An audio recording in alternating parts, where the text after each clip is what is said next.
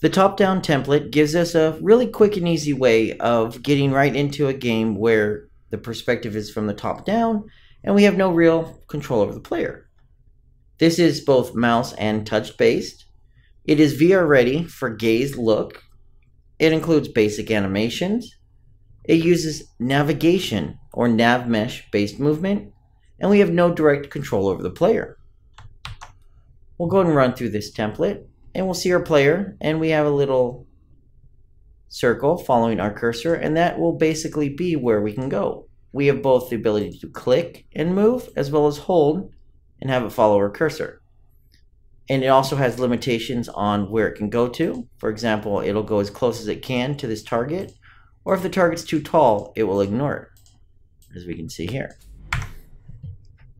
Now unlike your normal input. This is not inside of our character, but instead the controller controls the input and it basically sees where it's at based on the mouse, the gaze, or the touch look and attempts to move there using a nav mesh. The nav mesh being this green mesh that identifies the walkable or movable parts inside of our map. Now, if we were to use some pre-done assets and do a little bit of work, we might be able to get something simple like this. This is a Infinity Blade asset set, and we're basically having kind of like a get to the end and survive through the traps.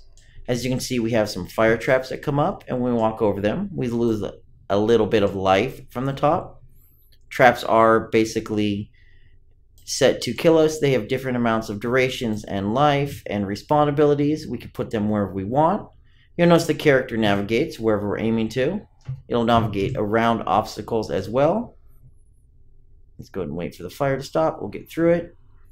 We will try to avoid the rest of the fire here. And we'll just navigate through. We have a few obstacles. We can go around anything. It, of course, will stop if it can't get to a point because it's using navigation meshes. And if we get to the end here, we just have a little screen that says we've escaped the fiery doom of fire. If we look at our map, when we pull up our nav mesh, you can see we have our navigatable areas. These, of course, could be cleaned up, but in a jam, we're just simply knocking these out quickly.